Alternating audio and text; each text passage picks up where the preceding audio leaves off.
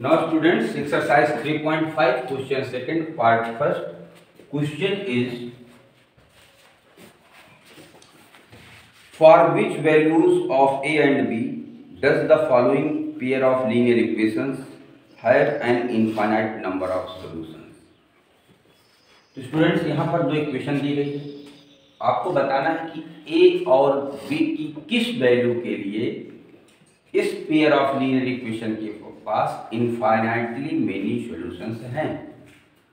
तो आपको याद होना चाहिए कि इनफाइनाइटली मेनी सॉल्यूशन की कंडीशन क्या होती है?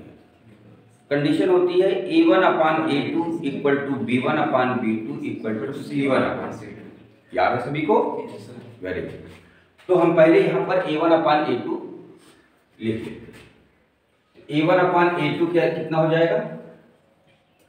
A one upon a two equal to two upon a minus b two by a minus b होगा। एक्स के कोफिशियंट लिखे जाते हैं। B one upon b two क्या होगा? Three upon a plus b होगा। वेरी गुड और c one upon c two क्या होगा? Seven upon three a plus b minus ये तो आपने a one b two b one b two और सी वन सी टू की वैल्यू निकाली अब इसमें चेक नहीं करना है कि ये इक्वल है कि नहीं इक्वल है। ये कंडीशन दी गई है कि इसके पास इनफाइनाइटली मेनी सॉल्यूशंस हैं। तो for infinitely many solutions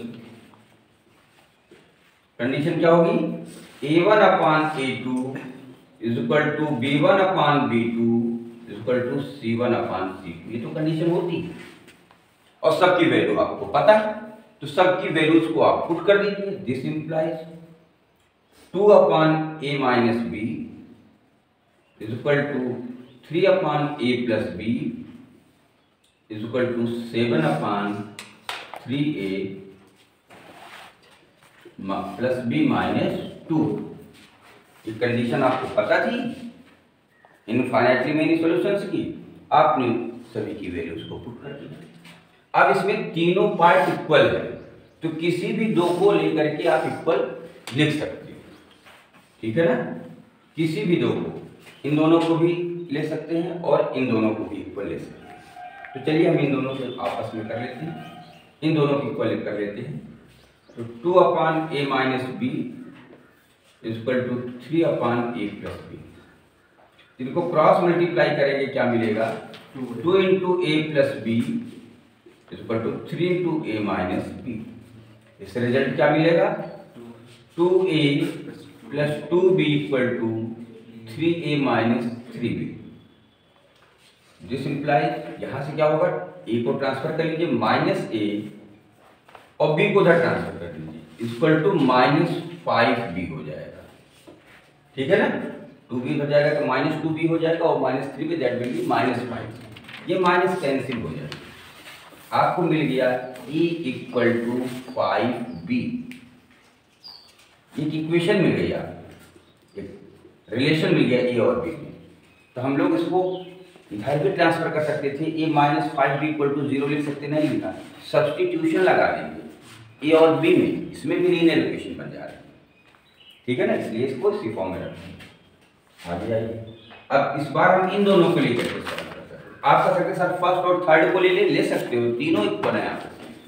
हम सेकंड और थर्ड को ले लेते हैं। It mean three upon a plus b equal to seven upon three a plus b minus two this implies cross multiply कीजिए। डायरेक्ट कर ले रहा हूँ थ्री थ्री जा nine a plus three b और माइनस थ्री टू जा six equal to seven से करेंगे seven a plus seven b transfer कर लिया जाए minus two a nine a sorry plus nine a minus seven a two a three b minus seven b minus four b okay और six को उधर भेज दो। सिक्स को उधर भेज दिया। ठीक है? ये बी है, ये सिक्स ध्यान रखना। अब हम यहाँ पर क्या करते हैं? ए की वैल्यू निकाल चुके हैं। यहाँ पुट कर देते हैं। कितना निकाले हैं? फाइव बी ए के प्लेस पे फाइव बी लिख देते हैं। From equation third minus four b equal to six this implies ten b minus four b equal to six six b equal to six this implies b equal to 1 ये आपकी पहली value आ अगर B आ गया तो a equal to five b मालूम है। ये बी की वैल्यू ए में पुट कर देते हैं। Equal to five into one that equal to five दूसरी वैल्यू आ गई, ठीक है ना? दैट दूसरी वैल्यू आ गई। तो फाइनल सोल्यूशन लिखिए hence a equal to five and b equal to one ये आपका फाइनल आंसर हो गया यही आपको निकालना था। ए की वैल्यू फाइव और बी की वैल्यू वन होने पर इस पेयर ऑफ़ लीनियर इक्वेशन के पास इनफाइनाइट सोल्यूशन होंगे।